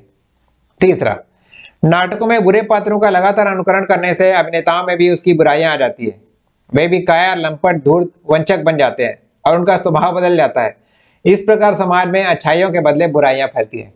जैसे, यदि कोई कलाकार निरंतर किसी खल पात्र का अनुकरण करता है, बुरे पात्रों का अनुकरण करता है तो ऐसे अभिनेता धीरे धीरे स्वयं भी बुरे हो जाते हैं। क्योंकि निरंतर एक ही प्रकार का जो पात्र का अभिनय कर रहे हैं। आपने देखा होगा कि जो दिलीप कुमार थे, उन्हें ट्रेजिडी किंग कहा जाता है। तो लगातार वो ट्रेजिक भूमिकाओं का निर्वहन करते थे, बीच में डिप्रेशन में चले गए थे। तो इनका भी वैसे ही कहना है कि लगातार आप यदि एक ही प्रकार के चरित्रों का निर्वहन कर रहे हैं, पात्र को अभिनीत कर रहे हैं, उनके किरदारों को निभा रहे हैं, तब उस पात्र की जो बुराइयाँ हैं, वो आपके अंदर आ जाएँगी। जैसे शक्ति कपूर है। हमेशा खल पात्र का अनुकरण करते हैं तो उनके जीवन में बुराइयाँ आ जा आ जा, आ जानी चाहिए। ऐसा प्लेटो का मानना है। इसके बाद जो त्रासदी है, त्रासदी मतलब होता है ट्रेजिडी। ट्रेजिडी को बोलते हैं त्रासदी या दुखांत नाटकों में कला, हत्या, विलाप आदि और सुखांत मतलब कॉमेडी नाटकों में अभद्रता, मस्करापन आदि देखने सुनने से दर्शक और श्रोता के मन में निकृष्ट भाव उदित होते हैं। इससे अनुशासन में कमी आती है। वो काव्य और नाटक की बुराइयाँ गिना रहे हैं। वो कहते हैं कि यदि कोई ट्रेजिक नाटक देखते हैं, ट्रेजिडी देखते हैं, जिसमें लड़ाई झगड़े हो रहे हैं, हत्या हो रही है, लोग दुखी में दुख में विलाप कर रहे हैं, या फिर जो सुखांत नाटक देख रहे हैं, कॉमेडी, जिसमें मस्करापन है, मज़ाक है तो इसको देखने सुनने से जो दर्शक या श्रोता है, उनके मन में निकृष्ट भाव उदित होते हैं, घटिया भावना उत्पन्न होते हैं। उनके जीवन में अनुशासन की कमी आती है। उनका कहना है कि हम इनको देखकर इनसे प्रेरित होते हैं। प्लेटो के अनुसार होमर। होमर की काव्य में हम बेचारे नायक को एक लंबे कथन में अपना शोक प्रदर्शित करते हुए, रोते हुए और अपनी छाती पीटते हुए पाते हैं। होमर के किसी काव्य का वर्णन कर रहे हैं, जिसमें जो अभिनेता है बहुत ज़्यादा दुखी हो जाता है अपनी छाती पीटता है, रोता है। जीवन में अपना दुख न प्रकट करने में गौरव मानते हैं, क्योंकि हमें एक विवेक बुद्धि होती है, जो हमें इन क्षुद्रताओं की ओर जाने से रोकती है। प्लेटो का यह मानना है कि हम आम ज़िंदगी में इस तरह रोते पीटते नहीं, अपनी भावनाओं को अव्यक्त नहीं करते सबके सामने। अपने दुख को अपने तक रखते हैं, अपनी पीड़ा को स्वयं तक ही रखते हैं। सामाजिक रूप से उसका प्रदर्शन नहीं करते, क्योंकि हमें विवेक बुद्धि होती है, हम अपनी बुद्धि से काम लेते हैं, जो हमें इन घटिया चीज़ों, क्षुद्रताओं की ओर जाने से रोकती है। त्रासदी मतलब ट्रेजडी में विवेक की उपेक्षा की जाती है, रोने बिलखने के समाज में, रोने बिलखने से समाज में वीरभाव लुप्त हो जाता है। उनका यह मानना है कि उस समय जो नाटक जो अभिनीत किए जा रहे थे स्टेज पर, उनमें क्या होता था, पात्र रोते थे, बिलखते थे। इससे क्या होता है, पुरुषों में वीर भाव खत्म हो रहा था। वह महिलाओं की तरह बात बात पर रोने लगते थे। उनका उनका ऐसा मानना है। तो इससे क्या होगा, ऐसे नाटकों को देखने के बाद समाज में जो वीर भाव होना चाहिए, जो शौर्य होना चाहिए, शौर्य की परंपरा, जो वीर भावना होनी चाहिए, वह लुप्त हो जाती है। पांचवा, कोई व्यक्ति जीवन में गंभीरता से काम करे और नाटक में हल्केपन से ही असंगत है। ऐसा नहीं हो सकता है कोई व्यक्ति अपने जीवन में तो बहुत गंभीर हो, और वहाँ पर नाटकों में जाकर कॉमेडी कर रहा है, कोई अभिनेता। तो यह असंगत है। तो उसके व्यक्तित्व में क्या है? कुंठा पैदा होगी इससे। साथ ही वही व्यक्ति ट्रेजिडी और कॉमेडी दोनों में अभिनय करे और सफलता प्राप्त करे, यह संभव नहीं, क्योंकि दोनों भिन्न प्रकार के अभिनय होते हैं। उनका यह मानना है कि एक ही अभिनेता ट्रेजिडी वाली भी एक्टिंग कर ले, कॉमेडी वाली भी एक्टिंग कर ले और दोनों में सफल हो जाए, यह संभव नहीं है, क्योंकि दोनों में अभिनय का प्रकार अलग अलग होता है। प्लेटो का यह मानना है। मतलब वे काव्य और नाटक की बुराइयाँ बता रहे हैं, क्या क्या उसमें कमी है। नाटककार लोकप्रियता अर्जित करने के लिए हल्के और ओछे भावों का ही चित्रण पसंद करते हैं। इससे समाज में हल्कापन और ओछेपन का प्रसार होता है। जैसे जो टीआरपी है। या टीआरपी आपने देखा होगा न्यूज़ चैनल्स में, है ना? टीआरपी बटने के लिए किसी भी प्रकार का न्यूज़ चला देते हैं वो, जिसमें कोई सच्चाई नहीं होती। और वैसे ही नाटककार नाटककार क्या करते हैं? लोकप्रियता अर्जित करने के लिए बहुत ही बेकार टाइप की चीज़ों को लेकर आते हैं। जिसमें अश्लीलता होती है, ओछापन होता है, अभद्रता होती है, ऐसे भावों का चित्रण पसंद करते हैं ताकि उनका टीआरपी बढ़े। इससे समाज में हल्कापन और ओछेपन का प्रसार होता है। सातवां, होमर के काव्य। होमर के जो बहुत महान कवि थे, होमर उनके टाइम के यूनान के इलियड और ओडिसी, इनकी प्रमुख रचनाएँ हैं। होमर के काव्यों, इलियड और ओडिसी में जिन देवताओं का चरित्र चित्रण किया गया है, वह भी असत्य है और अनुचित भी। उससे न तो उसमें न तो देवों का चरित्र आदर्श है, न वीरों का। उनसे मनुष्यों को कोई सत्प्रेरणा नहीं मिलती। तो होमर का यह मानना है सॉरी प्लेटो का यह मानना है कि होमर के जो प्रसिद्ध काव्य हैं, इलियट हैं और ओडिसी हैं, उनमें जिन देवताओं का उन्होंने चित्रण किया है, उनमें कोई आदर्श नहीं है। उसमें मनुष्यों को कोई सत्प्रेरणा नहीं मिलती, उससे मनुष्यों को कोई प्रेरणा प्राप्त नहीं होती है। इसलिए होमर का में वर्णित देव युद्धों को हमारे समाज में कोई स्थान नहीं मिलना चाहिए। भले ही उनका कोई अन्योक्तिमूलक या काल्पनिक अर्थ हो। भले ही होमर ने काल्पनिक रूप से देवों का वर्णन किया है, देवी देवताओं का इलेड और ओडिसी में, लेकिन उससे चूँकि हमको कोई प्रेरणा नहीं मिलती, कोई अच्छी प्रेरणा नहीं मिलती, इसलिए, क्योंकि वे काल्पनिक हैं, इसलिए उनका हमारे समाज में कोई स्थान नहीं मिलना चाहिए। भले ही वे काल्पनिक ही क्यों न हो, क्योंकि अपरिपक्व मस्तिष्क वाले अन्योक्ति, काल्पनिक और तथ्योक्ति वास्तविक में अंतर नहीं समझ सकते। अपरिपक्व मस्तिष्क मतलब जो छोटे बालक हैं, जो बच्चे हैं, वे देखते हैं कि देवी देवताओं को देख रहे हैं कि उनका चित्रण अच्छे से नहीं हुआ है, लेकिन वो देवी देवता हैं देवता हैं। तो भी ये नहीं समझ पाते कि ये जो काव्य है, इसमें जो इनका चित्रण है, यह काल्पनिक है, और वास्तविक जीवन से उनका कोई संबंध नहीं है। देव युद्धों के वर्णन से बच्चों के सामने यह तथ्य प्रस्तुत होता है कि जब देवता युद्ध करते थे करते थे तो युद्ध करना ठीक है। वास्तव में वह युद्ध काल्पनिक युद्ध है, किंतु बच्चे उसे सत्य समझ लेंगे इससे उनके सामने गलत आदर्श उपस्थित होगा। प्लेटो का यह मानना है कि होमर ने इलियड और ओडेसी में भले काल्पनिक रूप से देवों का युद्ध दिखाया है लेकिन जो छोटे बच्चे हैं, जिनका मस्तिष्क परिपक्व नहीं है, वह यह तो नहीं समझ पाएँगे कि यह काल्पनिक या आभासी दुनिया है। वो तो यही समझेंगे कि यही वास्तविक दुनिया है। तो जब भगवान या देव आपस में युद्ध करते हैं, आपस में लड़ाई करते हैं, यह सही है तो हम भी लड़ाई करेंगे, यह भी सही है। तो बच्चों के सामने गलत आदर्श उपस्थित होता होगा। इतिहास पुराणों में अन्योक्ति परक या काल्पनिक ढंग से वर्णित देव युद्धों के दुष्प्रभाव को ध्यान में रखकर ही तुलसीदास ने जहाँ अवसर मिला, वहाँ देवों की निंदा की।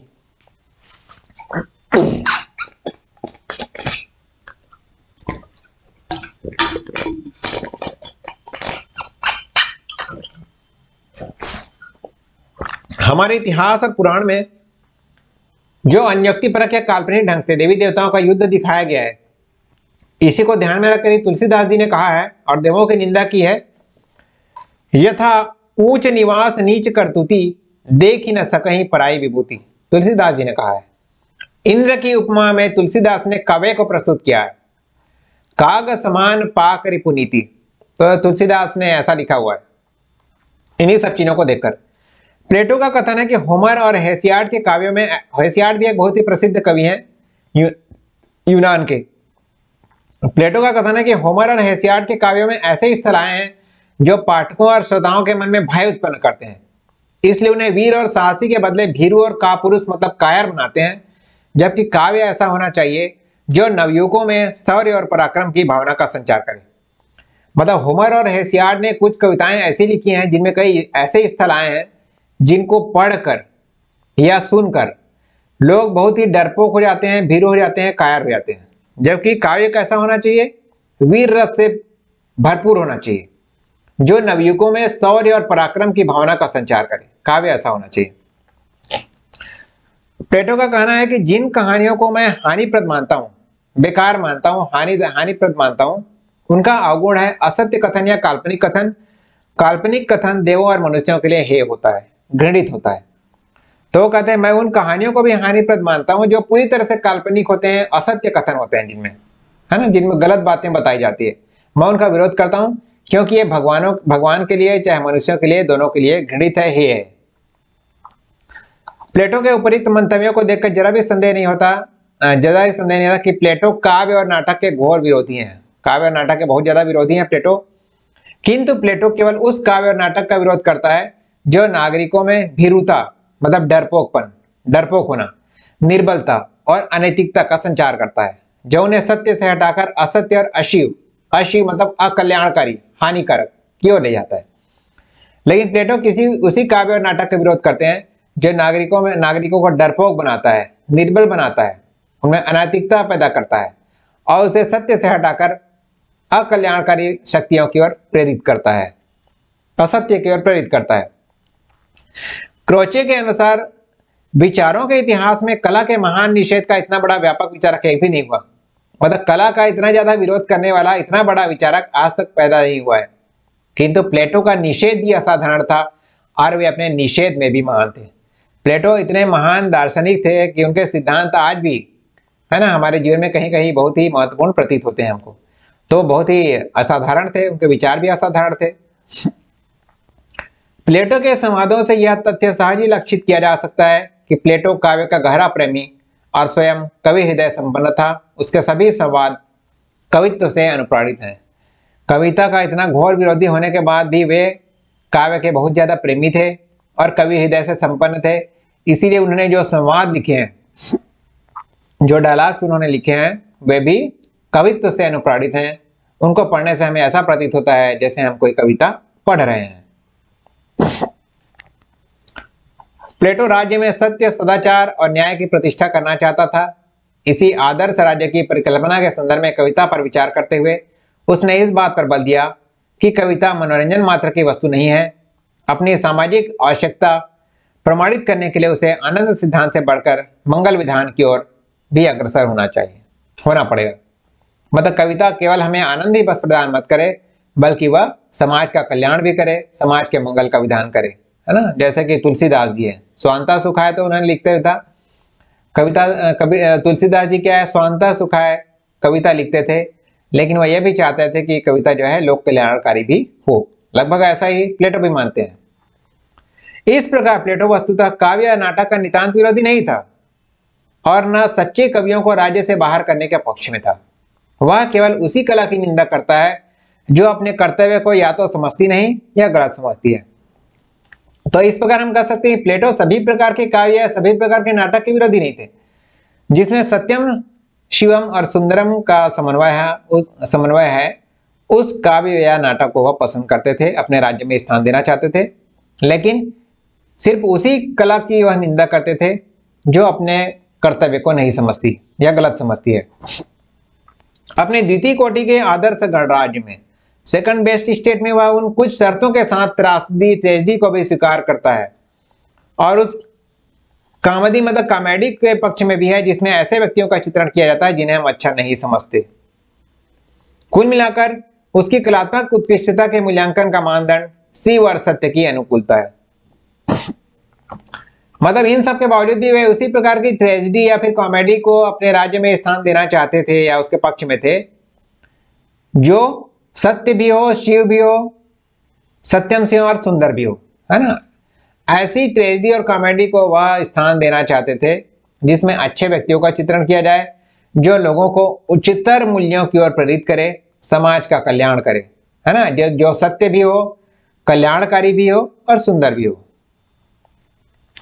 काव्य की रचना प्रक्रिया, काव्य की रचना कैसी होती है? ऊपर भी हमने उल्लेख किया है कि काव्य की रचना की प्रक्रिया कैसी होती है? प्रोसीजर प्लेटो के अनुसार काव्य की रचना प्रक्रिया एक प्रकार के ईश्वरीय उन्माद का परिणाम है। ऊपर हमने उल्लेख किया है, ईश्वरीय प्रेरणा से भी कोई काव्य रची जा सकती है।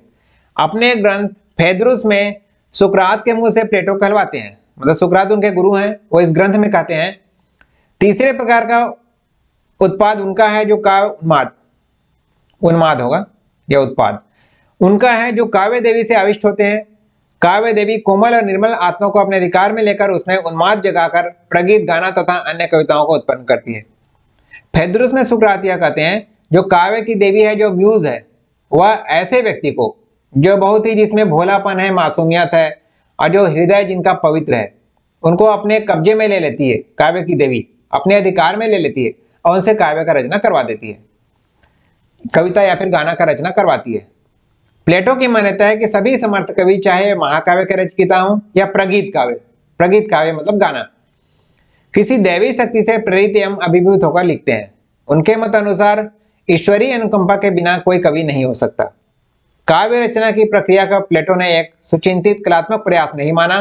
कविता उनके लिए शिल्प नहीं है।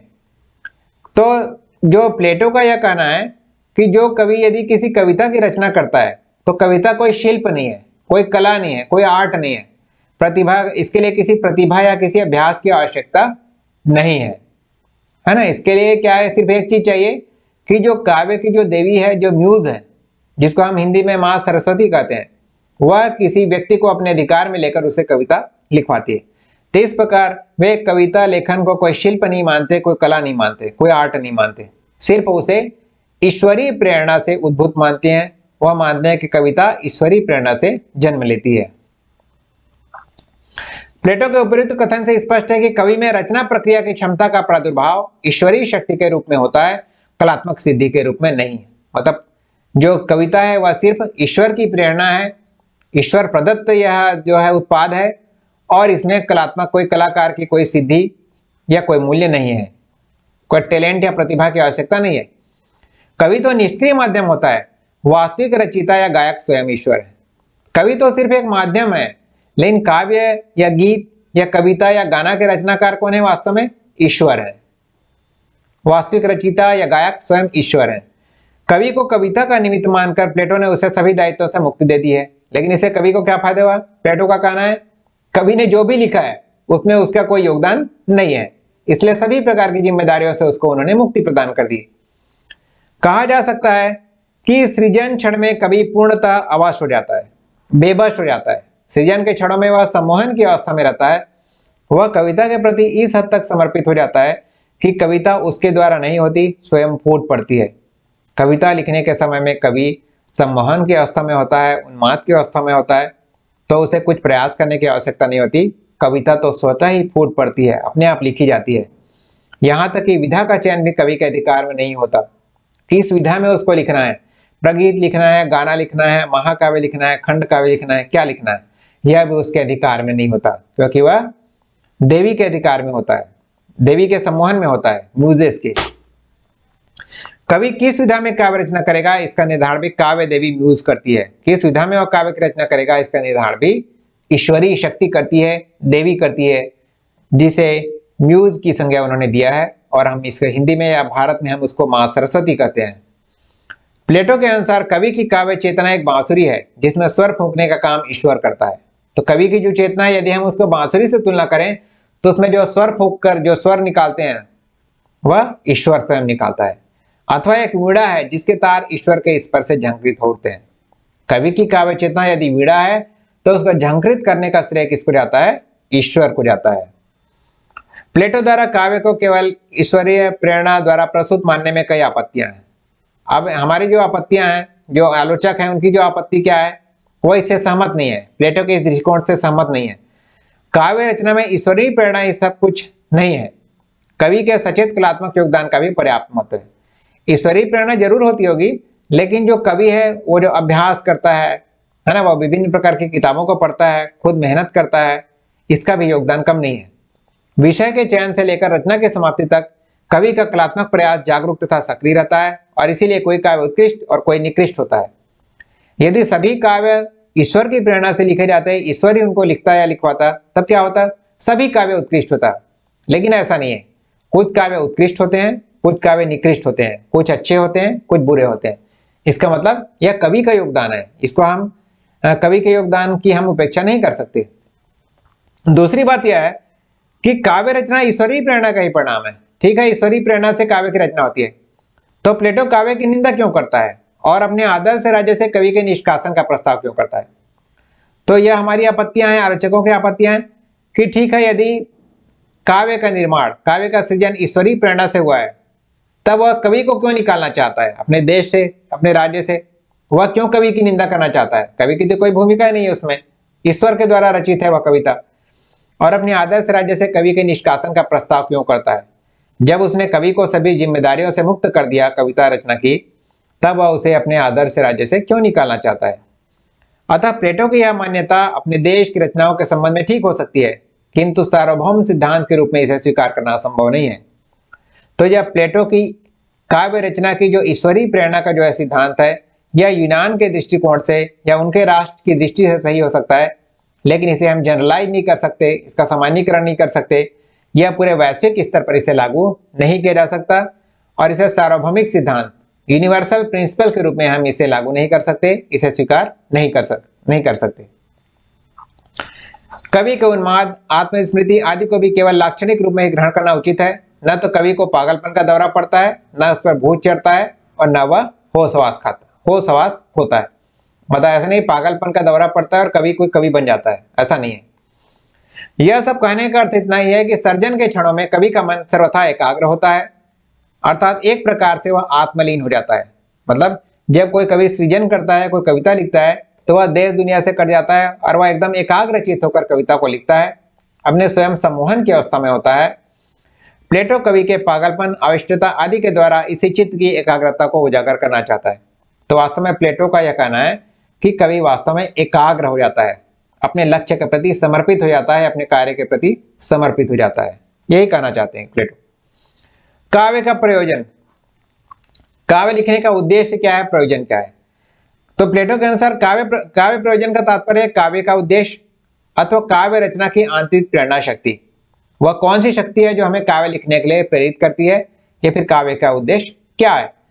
प्लेटो के अनुसार काव्य का मुख्य प्रयोजन शिक्षा देना है या उपदेश देना है।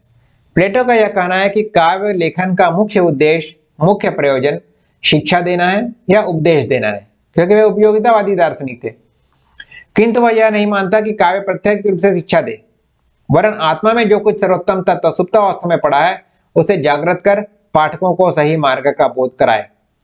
लेकिन उनका यह भी मानना है कि कविता को शिक्षक ही नहीं हो जाना चाहिए, कि हमेशा शिक्षा ही देता रहे। वास्तव में मनुष्य के हृदय में, मन में जो सर्वोत्तम पड़ा हुआ है जो सर्वश्रेष्ठ पड़ा हुआ है, उसको जागृत करे। उसको जागृत करे और पाठकों को सही मार्ग का बोध कराए। पाठकों को यह बताए कि सही क्या है, गलत क्या है और आप में क्या सर्वश्रेष्ठ है, उसे बाहर लेकर आए। यह कविता का कार्य है। उसका मत था कि काव्य चरित्र का निर्माण और सुधार तो करता है, किंतु इसके लिए वह नीति शास्त्र की शिक्षा नहीं देता। यह काम तो नीति शास्त्र का है। इसके बावजूद भी वह बहुत ही महत्वपूर्ण नहीं दे रहे हैं, कविता को ज़्यादा महत्व नहीं दे रहे ठीक है, काव्य से हमारे चरित्र का निर्माण होता है, वो हमारे चरित्र को सुधारता है।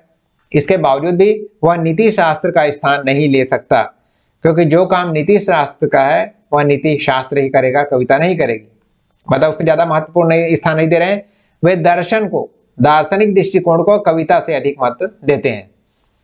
काव्य पाठकों का मूल्यों का सही बोध कराता है, उनके क्या क्या वैल्यूज़ हैं, है ना? जीवन जो मूल्य है, उनका बोध कराता है। भारतीय मत में कांता समिति उपदेश युजय कहकर यही अभिप्राय स्पष्ट कहा किया गया है। भारत में भी यह बोला गया कि काव्य क्या होना चाहिए? कांता समित उपदेश होना चाहिए, उसमें उपदेश निहित होना चाहिए। काव्य प्रत्यक्ष उपदेश नहीं देता, वरन वह अपने प्रभाव से पाठक में ऐसा ज्ञान जागृत कर देता है कि वह स्वयं अपना हित समझ सकता है। मतलब काव्य शिक्षक के रूप में प्रत्यक्ष रूप से किसी को उपदेश नहीं देता, लेकिन किसी कविता को पढ़ने के बाद पाठक को यह पता चल जाता है कि उसके लिए क्या सही है और क्या गलत है। और वह अपना हित, अनहित समझ सकता है। काव्य का विषय क्या होना चाहिए? काव्य का विषय सब्जेक्ट क्या होना चाहिए काव्य का? काव्य के विषय के संबंध में प्लेटो की निश्चित धारणा है कि वह धार्मिक तथा नैतिक होना चाहिए। काव्य का विषय या तो धार्मिक होना चाहिए या फिर नैतिक होना चाहिए। इसमें देवताओं और राष्ट्रवीरों का वर्णन होना चाहिए।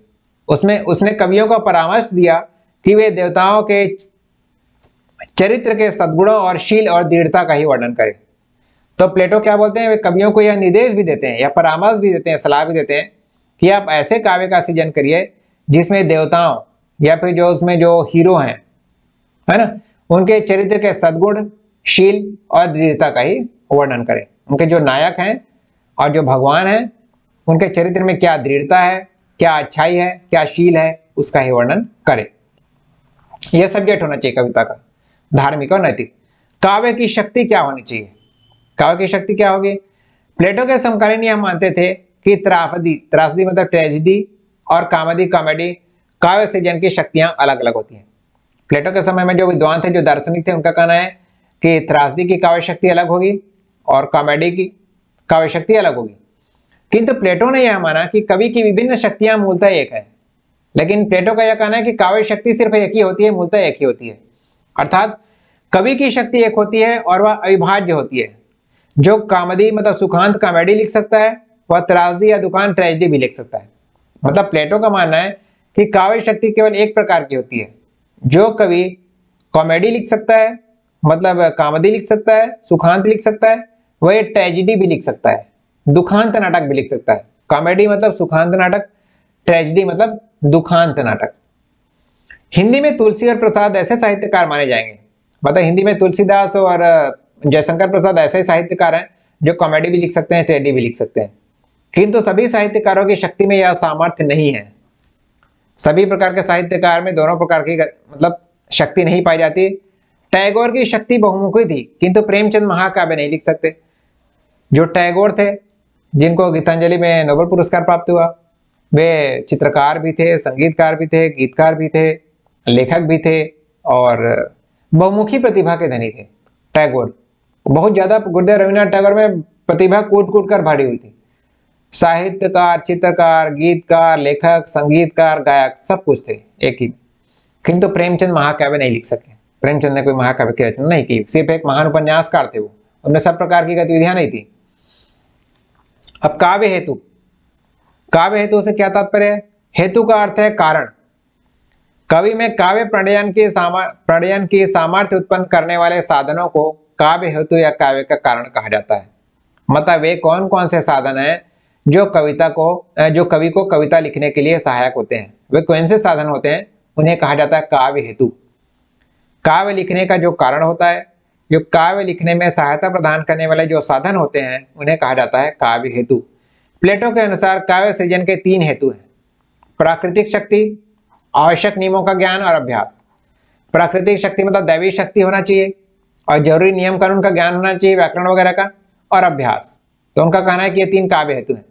इनमें सर्वप्रमुख है प्राकृतिक शक्ति मतलब कोई देवी शक्ति होनी चाहिए, प्राकृतिक शक्ति होनी चाहिए, इसको इन्होंने सर्वाधिक महत्व प्रदान किया है और अंत में अभ्यास का महत्व है। बोलते हैं अभ्यास की बहुत ज़रूरी चीज़ नहीं है, उसको उन्होंने आखिरी स्थान दिया है। भारतीय आचार्यों ने भी सर्वसम्मति से प्रतिभा व्युत्पत्ति और अभ्यास को काव्य हेतु माना है। है ना? भारत के जो आचार्य हुए हैं, जो संस्कृत के जो महान आचार्य हुए हैं, भारतीय, उन्होंने प्रतिभा, व्युत्पत्ति और अभ्यास को काव्य हेतु कहा है। प्लेटो का यह भी मत था कि कवि को मनुष्यों की पूरी प्रकृति का बोध होना चाहिए। मतलब जो कवि है, उसको मनुष्यों की प्रकृति का, उनके जो मनोविज्ञान का भी उनका पूरा बोध होना चाहिए। जैसे आचार्य भामा के अनुसार प्रतिभा, व्युत्पत्ति और अभ्यास तीन काव्य हेतु हैं। इसको हम लोग अभी संस्कृत जब काव्य शास्त्र पढ़ेंगे भारतीय काव्य शास्त्र तब इसका अध्ययन करेंगे। कला के मूल्य के संदर्भ में प्लेटो का दृष्टिकोण उपयोगितावादी और नैतिकतावादी था। मतलब कला को प्लेटो हमेशा नैतिकतावादी दृष्टिकोण से देखता था या फिर उपयोगितावादी दृष्टिकोण से देखता था कि कला नैतिक है कि नहीं, नैतिक मूल्यों पर खरी उतरती है कि नहीं और उसका क्या उपयोग है? क्या वह लोग कल्याणकारी है? वह समाज के लिए, राष्ट्र के लिए क्या वह उपयोगी है? काव्य के प्रमुख भेद। प्लेटो के अनुसार काव्य कितने प्रकार के होते हैं? प्लेटो के अनुसार काव्य तीन प्रकार के होते हैं। अनुकरणात्मक, अनुकरण करने वाले, जिसको बोलते हैं प्रहसन, और दुखांतक नाटक मतलब कॉमेडी एंड ट्रेजिडी वर्णात्मक, इसको इन्होंने डीथी रैम नाम दिया, जिसको प्रगीत बोलते हैं मतलब गाना। इसका मतलब मिश्र मिश्र मतलब महाकाव्य। प्लेटो के अनुसार प्रगीत मतलब गाना के तीन अंग होते हैं। किसी प्रगीत के तीन अंग होते हैं? शब्द शब्द अच्छे होने चाहिए, माधुर्य होना चाहिए शब्दों में और लय होनी चाहिए। मतलब किसी कविता, गाना को गाने के लिए तीन चीज़ें आवश्यक है उनके अनुसार। शब्द अच्छे होने चाहिए, उसमें माधुर्य होना चाहिए और लय होनी चाहिए। काव्य की शैली और भाषा, काव्य की शैली कैसी होनी चाहिए, काव्य की भाषा कैसी होनी चाहिए। काव्य की शैली के संदर्भ में प्लेटो का मत है कि शैली कवि के चरित्र का प्रतिबिंब है, रिफ्लेक्शन ऑफ़ द कैरेक्टर है। मतलब जिस शैली में किसी कवि ने कविता लिखी है, वह उसके व्यक्तित्व को प्रतिबिंबित करता है प्लेटो के अनुसार। भारतीय समीक्षकों समीक्षकों समीक्षकों ने भी माना है कि शैली मनुष्य है स्टाइल इज़ द मैन अर्थात शैली कवि का वैशिष्ट है। मतलब जैसे हम, उनके जैसे जयशंकर प्रसाद की कविता हम पढ़ते हैं, मैथिली शरणगुप्त की कविता पढ़ते हैं, निराला की कविता पढ़ते हैं, महादेवी वर्मा की कविता पढ़ते हैं, सबका अपना स्टाइल अपनी शैली है। यह उनके व्यक्तित्व को प्रतिबिंबित करता है। यद स्वभाव कवि यद स्वभाव कवि तद अनुरूपम काव्यम। अर्थात कवि का जैसा स्वभाव होगा, उसी के अनुसार उसका काव्य होगा। मतलब कवि का जो व्यक्तित्व है, वह उसके काव्य की शैली में परिलक्षित होता है, दिखाई देता है। और हम, जैसे दिनकर जी का अपना अलग स्टाइल है, रामधारी सिंह दिनकर का, उनका अपना अलग स्टाइल है। तो हमको पढ़कर पता चल जाता है कि यह किनकी कविता होगी। तो यह उनका स्टाइल है। और काव्य की भाषा कैसी होनी चाहिए? प्लेटो ने कहा है कि भाषा परिवर्तनशील और गुणाश्रित है। है ना? शब्दों के जो गुण होते हैं, उससे निर्भर करती है और भाषा बदलती रहती है। आवश्यकता अनुसार काव्य में कठोर पुरुष वर्ण, मधुर माधुर्य और कोमल या प्रसाद वर्णों का प्रयोग करना चाहिए। अलग अलग प्रकार के वर्ण होते हैं। पुरुष वर्ण होते हैं, पुरुष वर्ण होते हैं, जिसमें कठोरता होती है। मधुर वर्ण होते हैं, जिसमें माधुर्य होता है, मधुरता होती है और कोमल वर्ण होते हैं, प्रसाद वर्ण।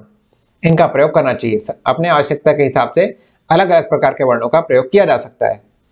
दंडी वामंत आदि भारतीय आचरण ने भी इन गुणों की पर्याप्त विवेचना की है। इन गुणों को हम पढ़ेंगे बाद में भारतीय काव्य शास्त्र के अंतर्गत। एक समीक्षक में क्या क्या गुण होना चाहिए? आलोचक में क्या क्या गुण होना चाहिए? प्लेटो के अनुसार। प्लेटो के अनुसार में समीक्षक में शिक्षा और गुण। एजुकेशन और वर्च्यू दोनों का उत्कृष्ट होना आवश्यक है। मतलब प्लेटो के अनुसार जो आलोचक है, जो समीक्षक है, बहुत ज़्यादा पढ़ा लिखा हो, ज्ञानी हो, और उसमें गुण हो, वर्च्यू भी हो नैतिक मूल्य भी हो, अच्छे गुड़ी भी होना चाहिए। दोनों में उत्कृष्ट होना चाहिए। सच्चे समीक्षक के लिए साहस का भी होना आवश्यक है, क्योंकि इसके अभाव में वह चाहकर भी सच्ची बात नहीं कर पाएगा वह साहसी भी साहसी भी होना चाहिए। उसके विचार दृढ़ होने चाहिए। यदि वह साहसी नहीं रहेगा तो वह सही बात हमारे सामने नहीं ला पाएगा। किसी काव्य या किसी नाटक की समीक्षा सही ढंग से नहीं कर पाएगा, उसके गुण दोष का विवेचन नहीं कर पाएगा। यदि वह साहसी नहीं है तो कला शिल्प का ज्ञान। कला के जो शिल्प हैं, उसके संबंध में कलाकार को क्या क्या ज्ञान होना चाहिए? प्लेटो का मत है कि किसी भी कलाकार को, चाहे वह चित्रकार हो, या गृह निर्माता हो, या कवि हो, उसे अपनी सामग्री का चुनाव और उपयोग बिना समझे बुझे नहीं करना चाहिए। मतलब उसको अपनी सामग्री का चयन सोच समझ कर करना चाहिए। चाहे कोई कलाकार है, चाहे कोई चित्रकार है, जो एक घर का निर्माण करने वाला है। वो जिस सामग्री का चयन कर रहा है, कला के लिए तो उसको सोच समझ कर करना चाहिए। सच्चे कलाकार का बराबर यही प्रयत्न रहता है कि उसकी रचना को एक निश्चित प्रभावपूर्ण स्वरूप मिले, इसलिए उसे कला शिल्प की पूरी जानकारी होनी चाहिए। प्रत्येक कलाकार या फनकार यह चाहता है कि उसकी कला क्या है, बहुत ही महान हो, उत्कृष्ट हो। इसीलिए उसको कला के शिल्प की पूरी जानकारी होना चाहिए। कलाकार को अध्ययन मतलब पढ़कर और अभ्यास द्वारा कला का ज्ञान प्राप्त करना चाहिए। मतलब जो भी वह सृजित करना चाहता है, उसका अध्ययन करना चाहिए। उस संबंध में जो साहित्य उपलब्ध है, उनका अध्ययन करना चाहिए और उनका बार बार अभ्यास करना चाहिए। प्लेटो ने लिखा है कि हमारे कलाकार ऐसे होने चाहिए, जिनमें सौंदर्य और लालित्य की समुची प्रकृति देखने की क्षमता हो। तभी हमारे युवक स्वस्थ भूमि में निर्मल दृश्यों तथा मनोहर ध्वनियों के बीच रह सकेंगे और प्रत्येक वस्तु में अच्छाई देख सकेंगे। मतलब जैसे कि किड्स कहते हैं कि beauty lies in the eyes of be beholder. सुंदरता देखने वालों के आँखों में निहित होती है। तो जो कलाकार है, उसको भी अपने आसपास उसका मन इतना निर्मल और स्वच्छ होना चाहिए कि वह अपने आसपास सौंदर्य का दर्शन कर सके, उस चीज़ों की अच्छाइयों को देख सके और उन्हें बाहर ला सके, कला के रूप में। अब निष्कर्ष। निष्कर्ष के आधार, निष्कर्ष में हम देखेंगे गुण दोष क्या है। कि प्लेटो के गुण क्या है, प्लेटो के योगदान क्या है, साहित्य समीक्षा शास्त्र में इनके क्या योगदान है और इसमें क्या दोष है, यह हमारा निष्कर्ष हो जाएगा। सबसे पहले देखते हैं प्लेटो का योगदान क्या है, प्लेटो के गुण क्या है। प्लेटो के कुछ महत्वपूर्ण विचार इस प्रकार हैं। काव्य एवं कला के स्वरूप, प्रयोजन तथा प्रभाव से संबद्ध अनेक विचारों के प्राचीनतम उद्भावक प्लेटो हैं। प्लेटो ने बहुत सारे सिद्धांतों को जन्म दिया है, चाहे वह कला के स्वरूप के संबंध में हो, चाहे काव्य के स्वरूप के संबंध में हो, चाहे उसका प्रयोजन हो या प्रभाव। बहुत सारे सिद्धांतों को इन्होंने जन्म दिया। दूसरा, प्लेटो की दृष्टि में कला और साहित्य का प्रयोजन। एवं मूल्य उसकी सामाजिक उपयोगिता है। उन्होंने प्रत्येक कला को, साहित्य को किस प्रकार देखा? कि वह उसका उद्देश्य क्या होना चाहिए? वह समाज के लिए उपयोगी होना चाहिए। कि वह समाज के लिए उपयोगी है कि नहीं है? तो यह उपयोगितावाद की अवधारणा है। कि इसकी कितनी सामाजिक उपयोगिता है? अनुकरण सिद्धांत की उद्भावना का श्रेय प्लेटो को है।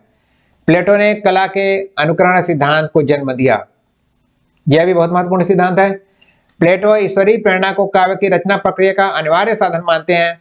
व्युत्पत्ति, अभ्यास आदि का महत्व उनकी दृष्टि में नितांत गौड़ है। तो प्लेटो के अनुसार जो ईश्वर की जो प्रेरणा है, उसी की प्रेरणा से काव्य का सृजन होता है और व्युत्पत्ति या अभ्यास की भूमिका वहाँ पर बहुत ही कम है। यह एक बहुत महत्वपूर्ण सिद्धांत उन्होंने दिया है। विरेचन सिद्धांत के संकेत भी उनके कथनों में विद्यमान है। विरेचन जो सिद्धांत हम आगे पढ़ेंगे, अरस्तु का विरोचन सिद्धांत, उसका संकेत भी इनके कथनों में विद्यमान है। साहित्य में काव्यगत न्याय पोएटिक जस्टिस के सिद्धांत के प्रतिष्ठाता प्लेटो है। काव्यगत न्याय नाम का एक सिद्धांत है पोएटिक जस्टिस इसका सिद्धांत भी प्लेटो ने दिया है, जन्म दिया है इसको। प्लेटो की तार्किकता प्रखर, अभिव्यंजना, प्रांजन तथा शैली आकर्षक है। मतलब बहुत बेहतरीन तरीके से और तर्क, तर्कपूर्ण ढंग से उन्होंने अपने सिद्धांतों को स्थापित किया है। प्लेटो के दोष क्या हैं? प्लेटो में क्या क्या कमी पाई गई?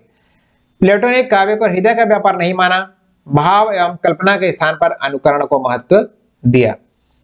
प्लेटो क्या है? हृदय को ज़्यादा महत्व नहीं देते। वो तर्क की कसौटी पर उनकी कविता खरी उतरनी चाहिए उनके हिसाब से। तो भाव और कल्पना के स्थान पर सिर्फ़ उन्होंने अनुकरण को महत्व दिया है। मतलब सबको नकलची बता दिया है। प्लेटो कला में निहित सृजनशीलता को नहीं समझ पाए। प्लेटो ये नहीं समझ पाए कि कोई कलाकार है या कोई साहित्यकार है या फिर कवि है, उसमें कलाकारी भी होती है फन, फनकारी भी होती है। उसमें सृजन क्षमता होती है। सृजनशीलता को नहीं समझ पाए। वो बोलते कि सब अनुकरण है, सभी ईश्वर की प्रेरणा से हो रहा है। कला को कला की दृष्टि से न देखकर समाज कल्याण की दृष्टि से परखा। अब ज़रूरी नहीं कि हर कला समाज के लिए उपयोगी हो, लाभकारी हो, कल्याणकारी हो। तो उन्होंने कला को सिर्फ़ समाज के उपयोगिता की दृष्टि से देखा, समाज कल्याण की दृष्टि से देखा। उसने कला में सुंदर से अधिक सी पर बल दिया है, जो सौंदर्य शास्त्र की दृष्टि से सही नहीं है। वास्तव में जब हम किसी कला की समीक्षा करते हैं, कला की आलोचना करते हैं तब हम उसको सौंदर्य बोध की दृष्टि से भी देखते हैं। सौंदर्य शास्त्र के दृष्टिकोण से भी देखते हैं, लेकिन उन्होंने सुंदरता के स्थान पर कल्याण को, शिव को मतलब कल्याण को अधिक महत्व प्रदान किया, जो सौंदर्य शास्त्र की दृष्टि से सही नहीं है। प्लेटो ने दर्शन और काव्य के शाश्वत विरोध की बात कही है, जबकि दर्शन और काव्यालोचन एक दूसरे के विरोधी नहीं, पूरक है। प्लेटो का जो मानना है, जो दर्शन है वह काव्य से श्रेष्ठ है, और इन दोनों में हमेशा विरोध है। लेकिन दर्शन और काव्य की आलोचना जो है वह वास्तव में एक दूसरे के विरोधी नहीं है, बल्कि एक दूसरे के पूरक है। पांचवा, प्लेटो ने कला विषयक विवेचन में पर्याप्त पुनरुक्ति है, किंतु यह पुनरुक्ति संवादों के कारण है, लेखक की मर्ज़ी से नहीं। प्लेटो क्या है, जब कला की विवेचना करते हैं तो बार बार एक ही बात को दोहराते हैं। लेकिन यह क्या है, यह संवादों के कारण है कि वही प्रश्न दोबारा पूछा गया तो उसका जवाब दिया तो यह लेखक की मर्ज़ी से नहीं हुआ है। तो मुझे लगता है कि आपने प्लेटो के काव्य सिद्धांत को भली भांति समझ गया होगा और यदि मेरा यह आज का एपिसोड अच्छा लगा होगा, तब मेरे चैनल को लाइक करें शेयर करें सब्सक्राइब करें। साथ ही बेल आइकन को दबाना ना भूलें ताकि मेरे प्रत्येक वीडियो के अपडेट्स आपको मिलते रहे। साथ ही मैं अभी जितने भी पाश्चात्य काव्य सिद्धांत के जितने भी बड़े बड़े दार्शनिक हैं, उनके विचारधाराओं को आप तक लेकर आऊँगा और जो भारतीय काव्य शास्त्र है, उस पर भी मैं बहुत सारे लेक्चर्स लेकर आऊँगा, इसलिए मेरे चैनल को सब्सक्राइब करें, निरंतर देखते रहें। साथ ही कमेंट बॉक्स में कमेंट लिखकर ज़रूर बताएँ कि मेरा यह प्रयास आप लोगों को कैसा लग रहा है। धन्यवाद।